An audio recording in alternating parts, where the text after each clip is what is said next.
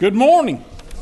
Welcome to New Haven Baptist Church this morning. Great to see everyone with us.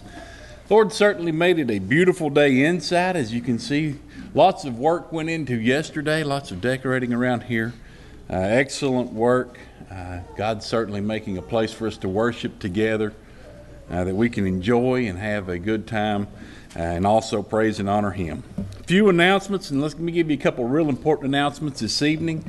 Six o'clock, we will be worshiping together with Black Oak Baptist Church down at, at Black Oak, which is just about a mile down the road. Brother James will be preaching down there, so come out. Uh, let's be part of that. Let's have a great time together. Uh, the Lord certainly encircles us and gives us an opportunity to come together and let's share with one another. Also, Wednesday evening, we will not have service here, so don't forget that. Wednesday evening, we will not have service uh, here at New Haven Baptist Church. Don't forget, uh, lots of great things that are coming up children's play practice, children to be part of the Christmas parade. All those things are in your bulletin.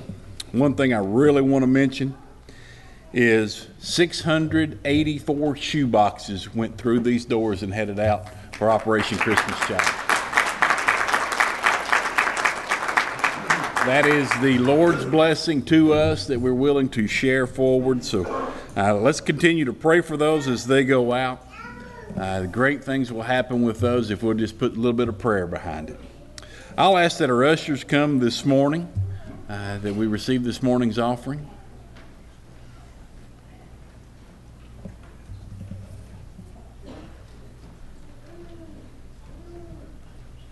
Ask that you pray with me this morning. Father, we're so thankful, so blessed, so great to know that we have you to take care of us and continue blessing us and giving us an opportunity to gather together and worship. Father, we pray today that you'll be in this service, that you'll use it in a mighty way, that you'll keep it in our hearts as we go out these doors, that we'll share it with others and live on your path of righteousness. Father, I pray today for our pastor as you continue to uh, strengthen, encourage him. Keep the devil at bay from him, Father, that he'll continue strong in your word and leading us here at New Haven. Father, I pray for us as a church that we'll continue to seek after you together in one accord, doing what you have us to do in all things. Now, Father, today I pray for those that are unable to be with us due to sickness. Be with them, heal them, that they may come and worship together. See them through difficult times. Father, others that need you in their life, I pray for them that you'll encircle them with love. Use us as your hands, your feet, your mouthpiece to strengthen and encourage through difficult times there. Now, Father, I pray today that this service will be mighty, will be great, will be uplifting, and most of all, Father, that we'll show honor and glory to Thee. For it's in Christ's name we pray. Amen.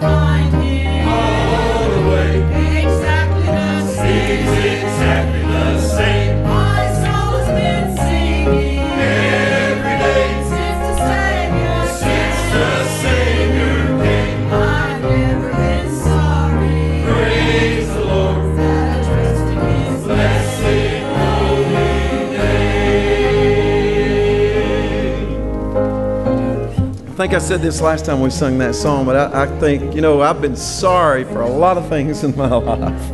But I'll tell you one thing I've never been sorry for. Hallelujah. I've never been sorry I accepted Jesus. How about you? Let's all stand up.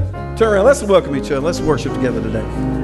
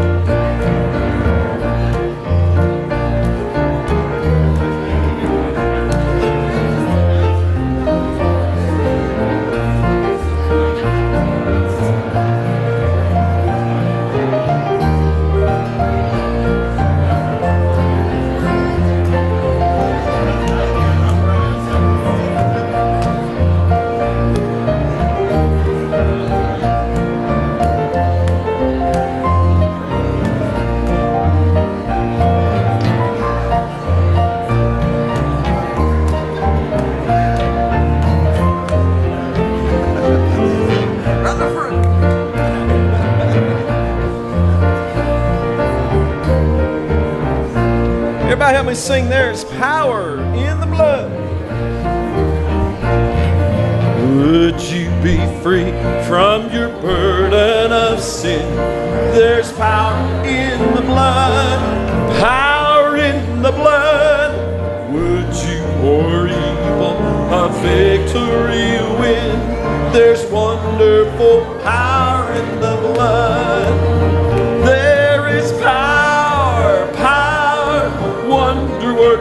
Power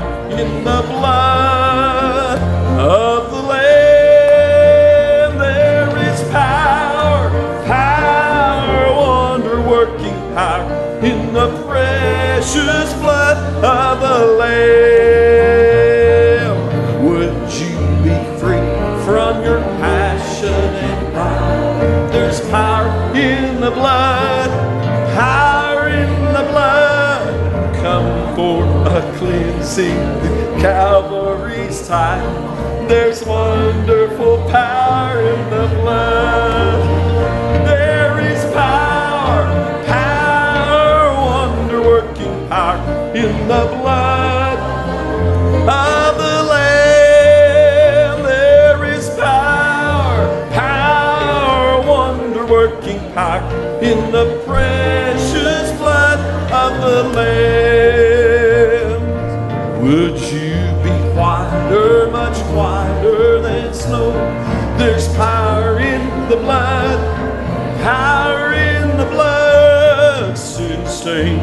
Lost in its life-giving flow. There's wonderful power in the blood. There is power, power, wonder-working power in the blood of the Lamb. There is power, power, wonder-working power in the precious blood of the Lamb.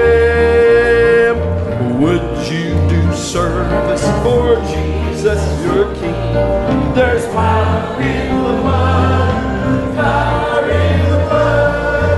Would you praise, praise, and sing? There's wonderful power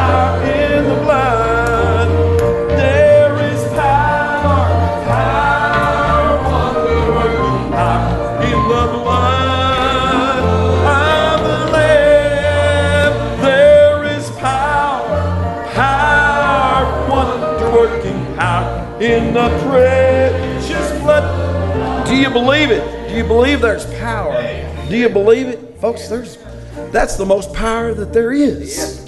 is the power, the blood of the Lamb that saves the world, those that will call on Him. If you don't know Him today, today, now is the accepted time. Yes. Now is the day. Today is the day. Let's sing that last chorus like we really mean it. How about this? Let's sing it. There is power, power,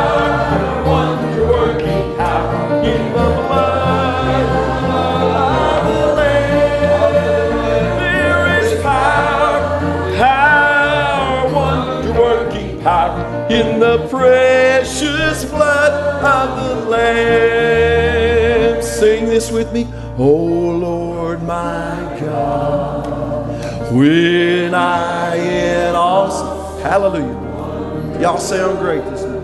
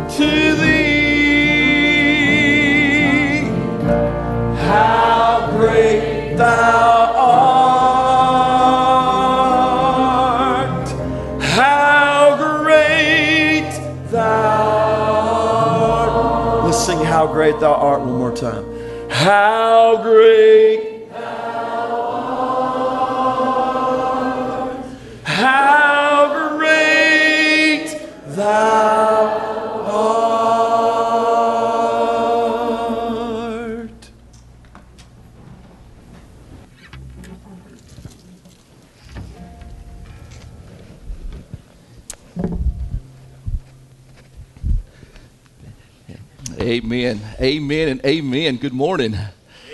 What ain't it pretty around here? Amen. We had people working hard. Uh, we've had people here actually for two or three days now. I know, uh, and and not to name everybody, but I know uh, Miss Carol's been here working nonstop. Even John's been here working nonstop. Woo! Red Sea miracles. Amen never ceases. No, he listen. He he's she amen smart man. He does exactly what she says do. Amen. Miss Doris has been here working a lot. I know Miss Tina Bilbrey's been here uh, working. And listen, as great as it looks, there's still work to be done, believe that or not. Uh, the fellowship hall, we're working down there. Got a few things still got to be done up here. And if you can give some time throughout the week, maybe you couldn't be here on Saturday. Maybe you can't be here in the morning. Maybe you can come in the evening. If you'll let us know, we'll try to work it into where we've got something for you to do. If you can come and help out a little bit, um, that'll be good. We still got a little decorating to do. So if you'll get with me or Miss Doris or um, somebody and let us know. But man, I looked at that tree and I thought, man, that thing is beautiful. Amen. Amen. I, you know what? I think these ladies deserve a hand, don't you? And John. Amen. Amen. Uh, y'all just remember how beautiful it is when the bills start coming in. Amen. It's a joke. sort of.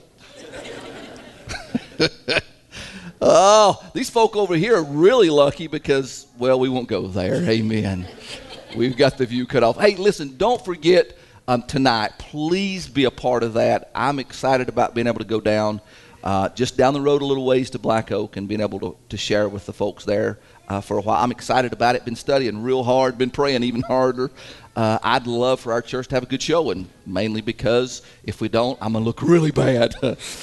no, I'm just teasing. Uh, I, listen, I want us to go and make much of Jesus. Amen. That's my only goal, and that's what I told Brother Kyle. Listen, I'm not coming to be seen or even heard.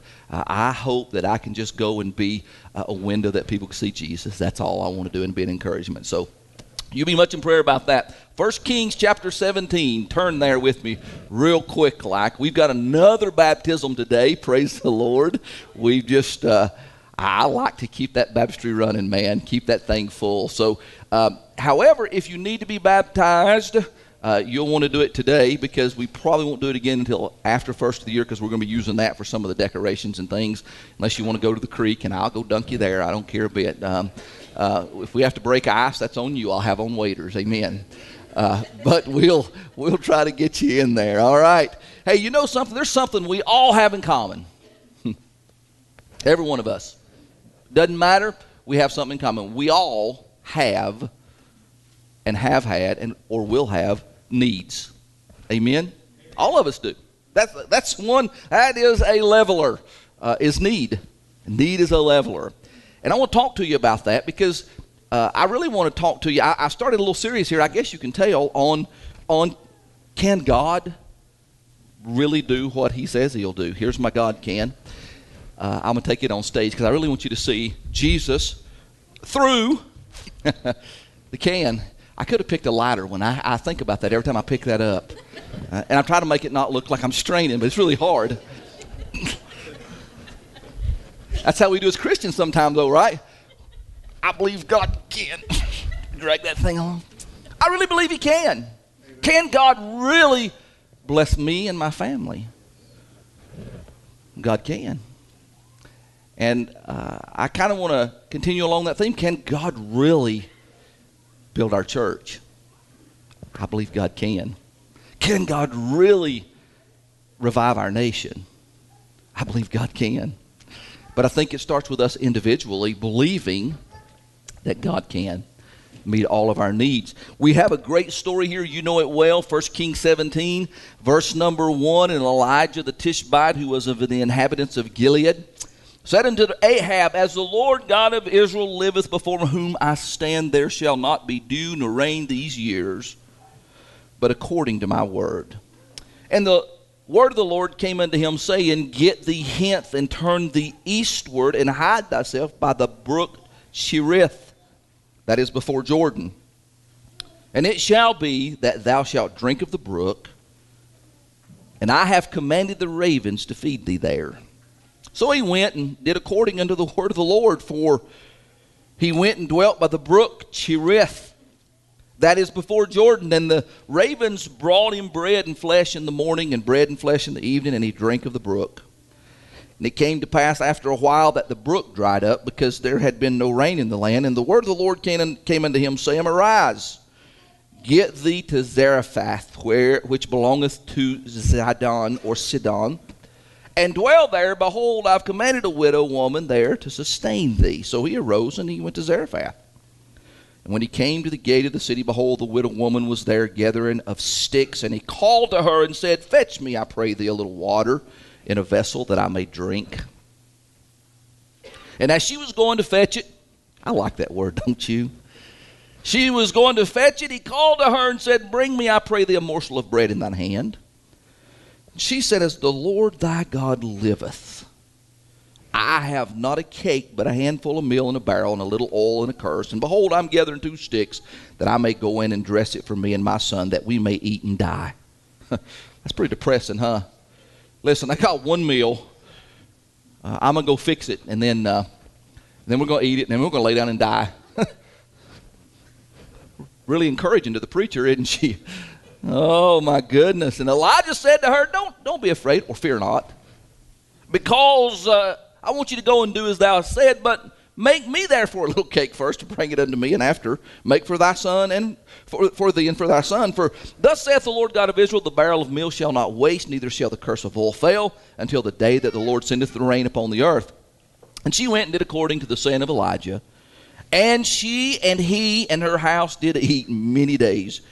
And the barrel of meal wasted not, neither did the cruse of oil fail, according to the word of the Lord which he spake by Elijah. And it came to pass after these things that the son of the woman, the mistress of the house, fell sick, and his sickness was so sore that there was no breath left in him. And she said unto Elijah, What have I to do with thee, O thou man of God? Art thou come unto me to call my sin to remembrance and to slay my son? And he said unto her, Give me thy son. And he took him out of her bosom and carried him up into a loft where he abode and laid him upon his own bed. And he cried unto the Lord and said, O Lord my God, thou hast also brought evil upon the widow with whom I sojourned by slaying her son. And he stretched himself upon the child three times and cried unto the Lord and said, O Lord my God, I pray thee, let this child's soul come into him again. And the Lord heard the voice of Elijah, and the soul of the child came into him again, and he revived. And Elijah took the child, brought him down out of the chamber into the house, and delivered him to his mother. And Elijah said, See, thy son liveth. And the woman said to Elijah, Now with this I know that thou art a man of God, and that the word of the Lord is in thy mouth. That common element that unites all the people of the world, that one thing we have in common, every person in this room, this idea of needs. There will be times in every one of our lives when we're going to experience some type of need. It could be material in nature. Uh, that seems to be where we focus a lot of our att- attention is on material needs. It could be uh, that uh, we have emotional needs. Uh, sometimes uh, we'll have physical needs and spiritual. Uh, our lives will need spiritual things in nature and and there's a lot of things we'll need and when we need uh, we all probably do about the same things a lot of times. We do exactly what the Bible tells us not to do. We what? We worry, don't we? Amen. You don't have to raise your hand, but am I the only worry here today? I say not. Amen. We worry. We all have that in common as well. When we have a need, when we, listen to me, when we have the power, when it's within our power to help ourselves, then we really don't have a need. What I'm referring to is when there are those times when we've reached the end of the line. Amen. I have needs sometimes that I'm able to meet myself, and if I'm able to meet it really and truly, that's not a true need. A lot of times it's called a want. I'm not talking about our wants. I'm not talking about that which we're able to take care of ourselves. I'm talking about the greatest needs in our life. I'm referring to those times when we're at the end of the rope. We've done everything that we know to do to meet our own need. We've exhausted every resource, and we're left with the reality of our own inability that stares us right in the face. What? Some of y'all may be there today. What do you do then? Now, I'm going to assume that most everybody here is a Christian. But I'll promise you, in this crowd of Christians, and you don't have to hold your head down, you need to look up. We have reached a place to where we just don't know. We know all the answers, right? God will provide. We know all of that. But deep down, there's still something there in the pit of your stomach, the enemy, throws up and creates a little bit of doubt to where it's going to be answered or answered in a way that you think is fitting for you. When you lay down at night and you're having your prayers and you're saying, I believe God, and all the time, you really do want to believe God. You believe God can, but there's that one little ounce of doubt. We all have it. We can pretend like it's not there. We know it's there. That's what I'm talking about today. I'm talking about that 0.01% that might be stuck there, that the enemy places there just to throw us off. But what if God doesn't? Can I just say this to you? If God doesn't, is no reflection on Him, and it doesn't mean that He can't, because He can. Period. I, I like this scripture that we see here. See, I don't think the answer is simple. I think it's deeply profound. I think the answer is given by the mouth of the Lord Jesus Christ Himself. And his answer to getting the needs of life met was this. And Jesus answering saith unto them, Mark chapter 11, verse 22, four little words have faith in God. there they are. All I'm saying, and what I hopefully intend to show from this passage, is that we have a God in heaven who can be trusted with the things that I need most. God can meet every possible need that I have. I want you to I, listen. I, today, I'm not fishing for amens or hallelujahs. Today, I want to help you because I've sat where you've sat, where you're sitting, and heard the man of God proclaim the gospel and said amen and raised my hand and not have it, just, just not grab a hold of it. Listen, I'd rather for you to, to, to give me attaboys and act like everything's good. I'd rather you let the Holy Spirit do what the Holy Spirit wants to do in you today, and that's to convince you through the power of the Holy Ghost that God can do everything He promised He would do. if we ever get across that little bitty hump to where we're trying to make everybody believe that we're okay, if we ever get over that hump, we'll really be okay. But I believe God can. He can point it out, He can fix it. can God really meet your need? God can. Let me show you in this chapter why I say just with this, and there's a million other places today, literally, that we could go. But I love this story. It's one of my favorite stories here because the first thing that we see here is we see the many sides of our needs. Uh, a lot of times our need arises from strange and varied sources. And there's three mentioned here in this chapter, and that's why I read the whole chapter. There's a, a, you and I, we may have needs, but our needs may not be the same. And to some of us, it may be very uncommon, if you will. The many sides of our needs. And that's the first one. This, this is an uncommon service, verses 1 through 7. Why did Elijah's need arise? Do anybody know that? Why did this need even become manifest? I want you to tell you how, how uh, a little unusual this is. The reason that Elijah's in need here, write this down, is because Elijah was being obedient to the voice of God. Now that cuts against some Baptist grain because we Baptists like to tell people all the time, uh, kind of like Job's buddies, don't we? Well, the reason that this is going on in your life is there has to be sin in your life. Amen? You ever had a preacher tell you that? Oh, it just blesses you so good. You go to your pastor broken and beaten and battered, and the first thing he says, Well, dear brother or sister, you, is there sin in your life? because that's an easy answer, right? Well, the reason that, uh, you know, God's mad at you, and he's waiting to beat you over the head with the 1611 King James Bible. So, but that's not always the case, is it? Listen, Elijah's need arose. This is kind of unusual because, look at this. It came because of his obedience to the will of God. He was just doing what he was told to do. And then look at this. The need arose. Just because he was doing what he was supposed to do. Stay with me here. There are times when you seem to be doing everything just like you're supposed to be doing it. You're paying your tithe, you're going to church, you're living right, and the troubles and the problems that plague your life, they just keep coming. And it takes us by surprise. But why? Jesus said it'd be this way in John chapter 16. Whoever got people to believe in that once we came to Jesus for salvation, all of our troubles were behind us, pulled off the greatest lie of the ages. That's a true statement, church. That's truth. Jesus tells us just the, just the opposite. The truth of the matter is we can expect a life to a time filled with trouble. Job 14.1 tells us instead of standing around with our mouth hanging open and trouble comes, we're supposed to, what's First Peter tell us? To rejoice. Isn't that something?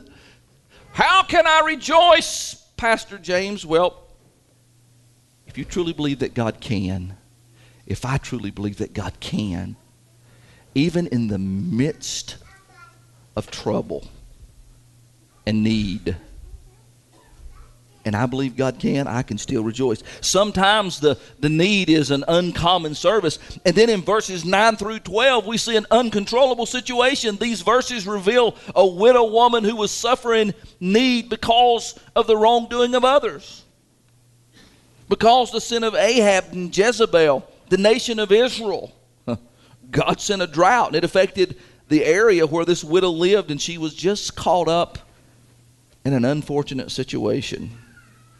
Sometimes the reason that we have a need is because we're just doing what God called us to do. I wish I had I wish I had a dollar for every time somebody showed up and said, Preacher, I, I'm telling you, I'm I'm praying. You ever felt like that? I'm reading my Bible, preacher. I'm in the Word of God. I'm giving my time and my tithe, and man, I'm working in the church, preacher. Why is God doing this to me? Huh? You ever been there? Man, I have more times than I can count. I'm doing everything. Listen to me. This is not because of some great sin. And then other times it's because of an uncontrollable. Sometimes folks put us in places. now you can act self-righteous you want to, but if you got kids, you know what I'm talking about. Say amen right there. We doing everything God trained. We got kids meaner than the devil. Say amen again. them little brats, I tell you the truth. Now, I'm talking about them it's 20 and 30 year old. Amen. When they're below 18, you can do something about that. They get a little older, it gets a little tougher. Oh, I figured Brett'd be shouting by this time. Amen. I wish the rest of them were here his sisters was 10 times more trouble than him. But anyway, I digress. I tell people, man, girls are girls are boys are a whole lot easier to raise. They're a whole lot harder to keep alive, but they're a whole lot easier to raise. Amen. and if you're raising kids, you're going to you're serving the Lord, man. You got your buddies, right? your friends, you got your, your inner circle down, and God's blessed you, and you finally got enough money where you can go out and eat a steak if you want to. Amen. Without having to buy diapers and formula and paying for school trips and books and y'all with me, amen. God's been so good and everything's going good, and all of a sudden them little rascals decide to do something stupid. Give me a witness here. Yeah, come on, preacher. Some of y'all going to learn something today whether you want to or not. And everything goes south. God, what do you do? Listen to me. You're in a mess. But you're in a mess under no fault of your own. You're in a mess because the devil's a liar and a thief and a joy killer.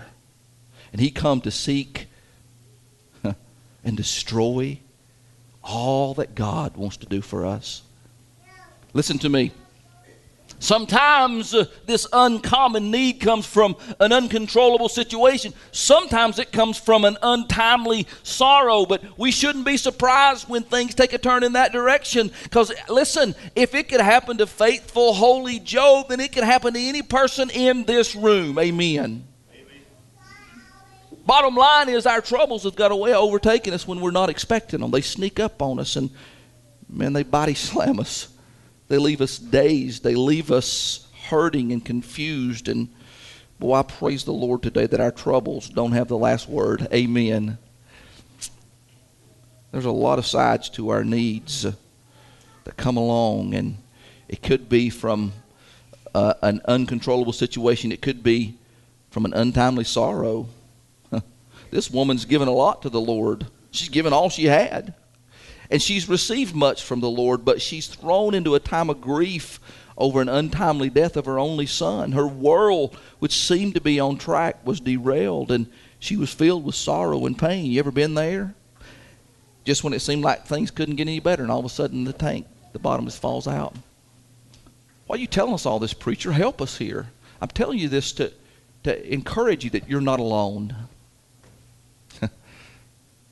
we all go through these times of discouragement and disillusionment and and and we need to understand that even though we're going through these times it doesn't change the character of God. God can help you in this time. I want to move along here. We see the many sides of our needs. Number 2 we see the manifest supply of our God. Amen. I love this part you see, our need may have caught us off guard. It may have left us standing with our chin on our chest, wondering what happened. But, but listen to me, our little old trial, I, this is the most encouragement that I ever give myself, is it didn't catch God off guard. Isn't that good? I may not understand it. I may not have been ready for it. I may not, but God, I like that, don't you? God knew it was coming long before it ever got to me. Praise God. And I'm going to move along because I'm going to give away the whole message if I don't because I just want to shout and holler and run the pews and, and act like a, like a charismatic. Amen. Because I've been through this sermon numerous times and I figured something out. God was not caught off guard by what came about in my life. He knew what was going on and he, and listen, he knew it from the foundation of the world and maybe even maybe he could have helped orchestrate this event in my life to help me to become more like him. well, that's good, ain't it? Maybe, just maybe, since God knew about it, and since God may have had a hand in it, you ever thought about this? If he knew about it, and if he had a hand in it, oh, here's a blessing, then he's already made preparation. Ooh, to help you. Isn't that good? If he already knew about it, and maybe he had a hand in it, yeah. Don't you think that maybe, maybe, just maybe, that he's made some preparation for it? You see, our need is merely the evidence of God's supply for us in waiting. You mean to say that again? My need is just merely in waiting because God, who says, I will supply all your needs, it's already been supplied. It's just a matter of waiting on the Lord. Listen to me. Look at God's past preparations. I love verse 3 and 4. When I read it, I just about give it away and shouted a little bit there. Think about this. Where did he send Elijah to go? Near what? Near a brook, didn't he? Thousands of years. Maybe. Hundreds of years, maybe. Two years, maybe. The day before, maybe. I doubt that. Think about this.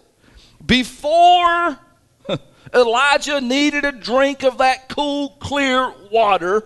The finger of God had already traced that baby out. Say amen right there. Before he, mm, mm, mm, mm, before he ever needed a drink, God had already made a brook. Amen. Praise God for that preparation Listen to me. God knew that his servant would need provision, and God made a way long before the need ever arose.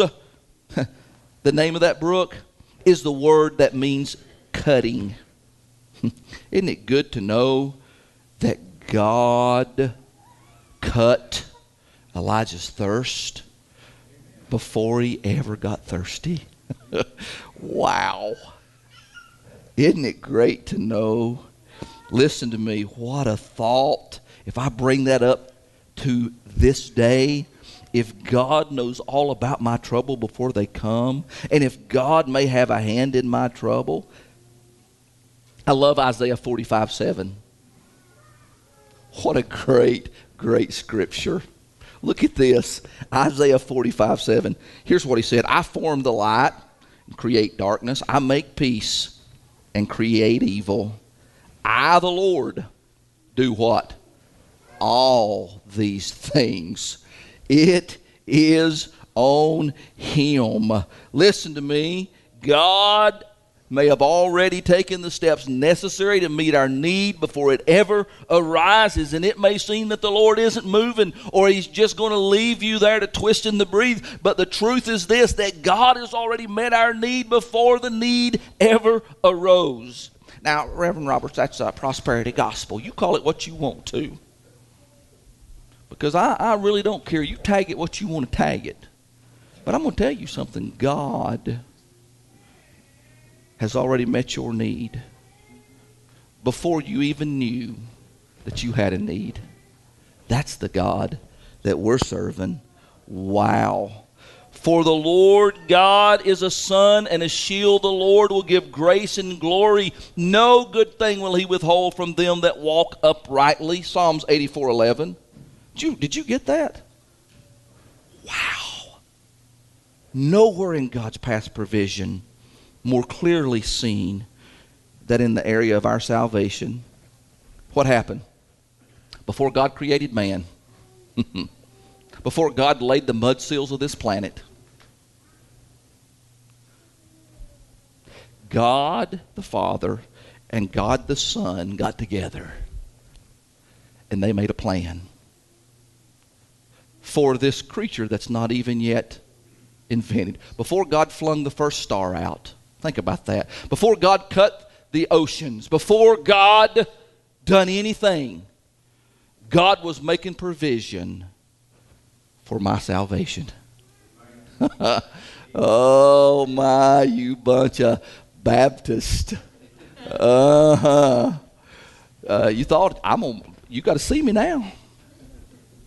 Before God created this planet, God the Father got with God the Son, said, Hey, I'm going to create something, and that something's going to be a mess. I'm going to tell them, Don't you do this. And what are they going to do? They're going to go do exactly what I told them not to do. And therefore, it's going to take some blood. But you see, the blood of the goats and the sheep, it won't do. The blood of the dove and the oxen, it's not going to do. It's going to be temporary. So here's what I'm going to need to do I'm going to need a lamb, a spotless lamb, a perfect lamb. And God the Son said, Huh, where are you going to get that at? Already knowing the answer. God the Father said, Oh, you know. God the Son said, Yeah, I do. I'll be your lamb. You want to talk about the provisions of God? Listen, that puts a golf ball in my throat this morning. And I can't stay here long because y'all have to pick me up somewhere. Because that makes me want to shout like an old timey Baptist. Amen. Listen to me. To know that God made provisions for me before He laid the first seal to this planet does something inside my soul. That God, before time was even time, that God said, I've got to help James. He's going to need a way. And the only way is through the blood of a spotless lamb. And Jesus said, I'll be that lamb. And the plan worked to perfection. Amen. Praise God for that, church. That it worked. If you're saved today, it's because of God's provision. So don't you tell me that God can't meet your need. Oh, listen to me. What a God, the manifest supply of our God in past preparation and then in the present supply. We see Elijah being fed by ravens. God knew he needed to eat. He supplied the necessities of life for this man of God. Look at the method. Whereas sometimes they're miraculous and ordinary, in that God used this common fowl of the air to get his will done. Wow. what a God. Listen to me. Did God get you up this morning? Say amen. amen. Amen. Most of us got to what? Get ourselves dressed. I, one of my best buddies, I may have told you this, was a was a uh, many did um, uh, oral surgery. I, I used to know that it's some kind of honest, or not an orthodontist, but onodontist, endodontist, something like that. he just wasn't a prima donna. Anyway, uh, man, this guy, brilliant young doctor, making bukus of money, lived in a big house, whole nine yards. Went to Spartanburg, South Carolina, got in, a, got in an accident riding his dirt bike and became a quadriplegic. The only thing he could feel was the top of his shoulders up to the top of his head, nothing else. He would say to me sometimes, I'd go see him on Saturdays, and he'd say to me, James, you don't know what I would give just to feel the carpet under my feet one more time. You don't know what I'd give to feel my kids wrap their arms around me give me a hug just one more time. You don't, listen to me, folk. When you start thinking about that, we ought, every one of us, praise God that we was able to get up this morning, get ourselves dressed, and get ourselves off to church. Amen. You know why? Because of God's present supply of taking care of us. God has taken care of us eternally, but God is taking care of us supernaturally right now. Listen, look at God's promise for tomorrow. Elijah's demand and the widow's response. He tells her, Don't worry because the Lord's going to give you what you need all the way into the future. That future man, we can talk about what God did yesterday. We can talk about what God does is doing today, but we worry about tomorrow. Hmm. I love my wife dearly, and, and I've tried to quit using her in some of my illustrations because I get myself in trouble. I know that's hard for y'all to believe. Um, but she's been saying to me lately, Are you borrowing trouble? Because I'll say something about, Well, Donna, what about this? It makes me so mad when she does it too. She say, "Hey preacher," that's like saying you ain't supposed to be doing this because you're supposed to be leading me, big boy. that's kind of like when you're. Never mind. Hey preacher, are you borrowing trouble? I've looked at her before and said, "Don't you say that to me." Be madder than fire because it's the truth. Amen. you ever heard the old adage, "The truth hurts." we borrow trouble. Say amen right there. We borrow, we worry about tomorrow. How are we going to do this? How are we going to do that? How, preacher, how are we going to, how, is it already 12 o'clock? Holy smoke. How are you ever going to finish by 12 o'clock? It's 1158. We worry about things. Listen to me. We borrow trouble from tomorrow. The same God that made provisions for my soul to be saved, the same God that feeding me today will be the same God tomorrow when I'll need help to get home. I promise you He'll never leave you and He'll never forsake you. Amen. That that is the God that we're serving. Can God really meet my needs? God can. Whatever they may be. Let me give you the third, and I'm going to quit right here. I want you to see the marvelous secret for getting your need met. If I could, it's really not a secret, but I can sum it up in one word, and that word would be what? F A I T H. Faith is the word. Faith! What a word! It's easy to say. But this faith must manifest itself in four quick areas. Look, there must be faith in the will of God. Elijah had just confronted the king of Israel, and now God's sending him into the wilderness. Could you imagine how confusing that might have been? But listen, we got to learn our place in the in in their faith in the will of God. God often God's will and our will are two entirely different animals, but the secret of getting our need met by God is trusting that God knows what's best for our life and to submit ourselves to him. We must be and there must be faith in the will of God. There must be faith in the ways of God. Look at this. Think about how Elijah felt when his brook dried up. The ravens, they quit bringing food. And God comes along and, and sends, him to, sends him into a widow, basically so she could keep him up, right? Could you imagine showing up at, at a little widow's house here in, here in Oneida, here in Scott County, and she's got a little old uh, cup of, uh, of, of some, some cornmeal and she's getting ready to go make some bread. And, and after she eats that, she's going to feed half to her son, half to her. She's going to go curl up in the corner somewhere and die. And all of a sudden, uh, this deadbeat preacher shows up. you shouldn't say that. Well, he's just doing what God told him to do. But think about how most people would think, right? I knew this widow lady here had to be godly because she did something. She what? She obeyed. She listened. Preacher shows up and said, Hey, go fix me something to eat. All I've got is just a little bit of bread, and I was going to fix it for me and my boy, and then I was going to, I'm going to, you know, we're going to go lay down and die. And Elijah said, Hey, do what I'm asking you to do. Go fix me some bread. Most of us would have been like, Hey, didn't you hear me, Slick? right? Amen? Or maybe it's just me that's been like that. hey, hey, listen, dude. You need to back off, man. I said, I'm going to go feed my boy, and I'm going to feed me, and I'm going to go lay down and die. You need to scoot along here, little preacher man. Right? I, did you hear what I said? Go fix me something. Wait a minute. No, no, you didn't hear what I said, preacher. I said I've only got one meal. No, no. She didn't. You noticed we didn't see her arguing, did we? What'd she do? How did she know to be obedient? Because she'd done been alone with God. Amen. She knew who he was.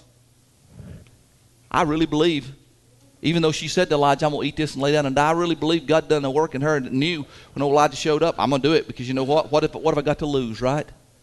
Some of y'all are there this morning. What do you got to lose?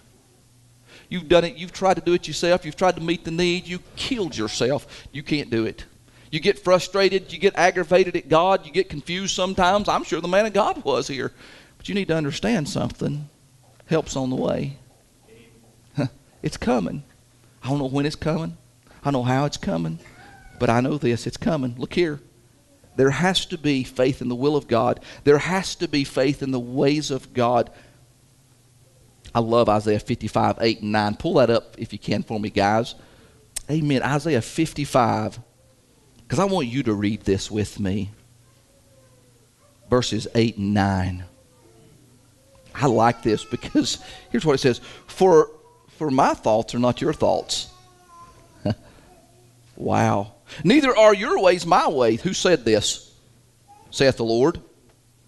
For as the heavens are higher than the earth, so are my ways higher than your ways, and my thoughts than your thoughts. God, I don't know what you're doing. Anybody ever said that? God, I don't know what you're doing. Amen. How many's ever said this? God, what are you doing? You're not supposed to question God, right? But we do, don't we? God, what are you doing? Oh, sometimes God says, just trust me because I can. Look here. You gotta, you gotta, you, there must be faith in the will of God. There must be faith in the ways of God. There must be faith in the work of God. This widow woman had to have faith in that work. And then finally, there must be faith in the Word of God. I love what verse 14 says. Don't miss this. He gives her the promise in the form of a seven word statement. Here it is Thus saith the Lord God of Israel. How do I know? Because I trust God's word. Here's what God's word said I'll never leave you. Are you with me? And I'll never what? I'll never forsake you. I'll never leave you. And I'll never forsake you. But God, what about, nope, listen to me, James. I'll never leave you and I'll never forsake But God, what about this? Nope, I'm not going to leave you. I'm not. Preacher, you don't know how big my problem is. Let me tell you something. I don't need to know how big your problem is. But if you have to say that to me, here's what I want to say to you. You don't know how big my God is. oh, He's big and He can take care of your needs. Can God? Preacher, you don't know what I'm facing right now. I know. I don't know. But He does. And if He knows, you can bet He's made a way.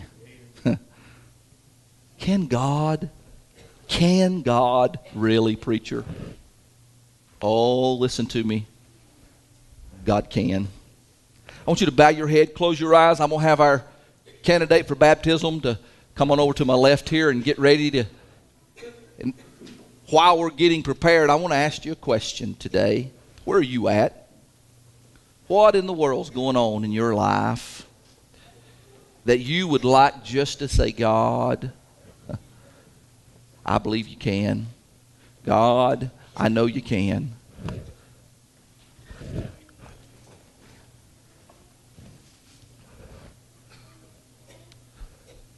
While we have a just some music for the invitation as we prepare for this baptism, I'd hate to waste this opportunity to, to get you some help. Maybe you, you, you're wallowing a little bit in self pity. I don't know. Maybe everything just perfect with you. I don't know. Maybe you've been on the altar 20 times in the last few months. I don't care. If you have a need today, here's what I know God can help you. God can hook you up today. I promise you. The only thing you got to do is to get it to Him. I know we've run a little bit long today, but church, this is important. I don't know. It doesn't matter how old you are, how young you are. Doesn't matter your your background. All that matters today is if you need help, God will God will provide help. He's already made provision. I wonder today, while we wait, if there's one person, just raise your hand up and say, Pastor, God spoke to me today. Would you pray for me anywhere in the building? Preacher, pray for me. God bless you. Thank you. Oh, yes. Thank you. Listen, amen. God knows. Thank you. God sees those hands and God knows that heart. Can God really meet my need? Can God really help me? Yeah, He can. Preacher, what if He don't? Oh, it doesn't mean He can't. He can help you, and He will help you, one way or the other. But again, we got to have faith in His will. We got to have faith in His word. We got to have faith in His work. God spoke to you. You need this altar. It's open right now. You can make your way down here. We're going to close in just a minute with a word of prayer. If you have a need,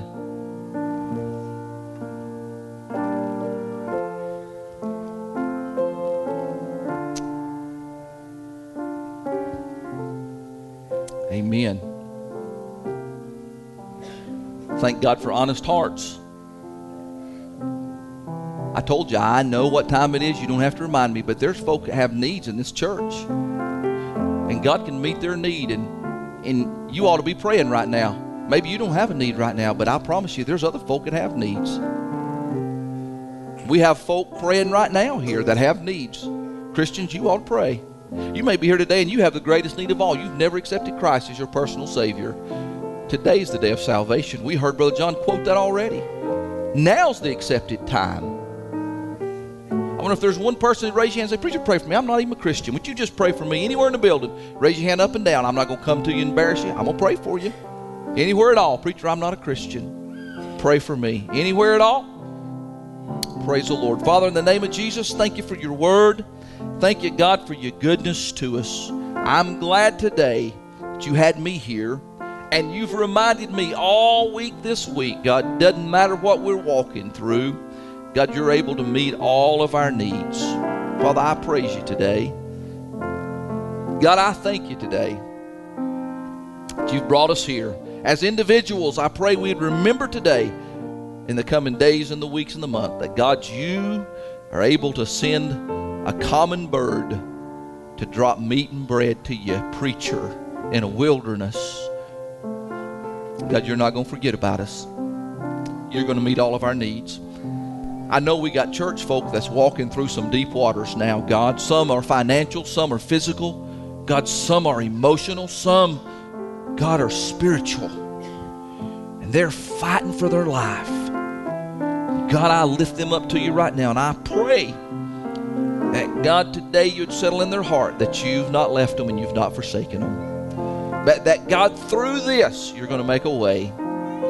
And when they come out the other side, they're going to look more like Jesus. Pray today, God. Touch those lives. Everyone that raised their hand, those who didn't, those who were praying, whatever the need is, God, I'm glad you know and you can meet that need. We give it to you now in Jesus' name. Amen and amen. Amen. Thank you so much. Brother John, you got a song ready for us? I'm going to go back here and hit the phone booth and come out like Superman.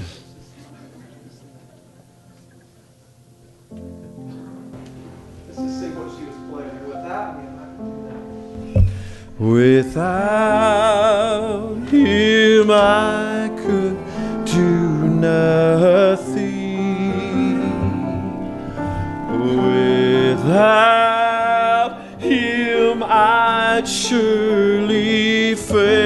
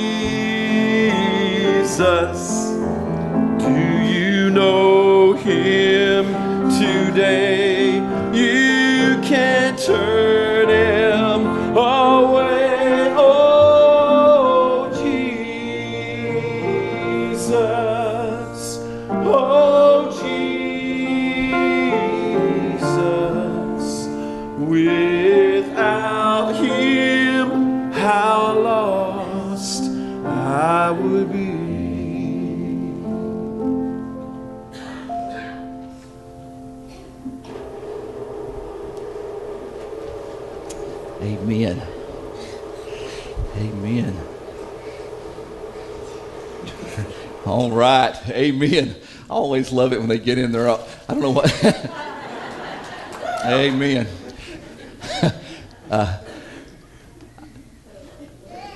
the first response is not spiritual usually. It's like, oh man, that's warm. Praise the Lord. I, it is warm. Amen. I appreciate Mr. White. We've been talking about this for a little while with mom and dad, and uh, I've talked to White several times actually, uh, and just the time wasn't right. And uh, now the time's gotten right. Amen. And uh, Mr. White, you've prayed and asked Jesus to come in your heart, hadn't you, buddy? Amen. And when you asked him, he did, right? Amen. Praise the Lord. So it gives me a great pleasure this morning to baptize this, my brother, in the name of the Father and of the Son and of the Holy Spirit. Got to get him down. There we go. Amen. Yes. Amen. I couldn't get him. Whoo, he's stout. we Baptists got to get every hair wetter it don't take. Amen. Praise the Lord. Uh, well, uh, it's good to be at the house of God. Amen. Ain't God been good to us? Amen. I told the church Wednesday night, and I'm going to go ahead and share it with you real quick. And I know it's 12:13, and we're still at church. Oh, the free will's going to beat us to uh, well, anyhow. Let's move along. I told the church we, we had a, a big meeting, and, and I ho- hopefully got some things to share uh, from the Tennessee Baptist State Convention, and they were talking about baptisms, and um, there was a challenge for churches to baptize a hundred next year, and that's one of the one of the challenges that they gave, and there wasn't a whole lot of takers there, and um, man, I, I, I didn't even pray about it. I'm gonna be honest with you, but I like a good challenge. Amen. And I said, you know what, fellas, I, I'm going to say New Haven Baptist Church is going to baptize 100 next year. Amen. Amen. So here's what I've done I've put y'all on the spot. uh, you say, Preacher, it's going to be hard to win 100. It will be for me, but guess what? Each one of us needs to go get our one. We've talked about it, we've prayed about it, and we've preached about it, church. And that's time to do it. And I'm telling you, if we'll go and we'll present the gospel, God will save a hundred and we'll baptize a hundred, and you'll see God do great things in this church. I promise you. Do I really believe that God can? You better believe He can. Amen. Father, thank you for our time together. Bless this our congregation. God, I pray we'd go from here and get our one at all costs, whatever it would take. God would help win Tennessee for your glory. In Jesus' name I pray. Amen and amen. I'll see you at Black Oak, 6 o'clock. You're at liberty to go.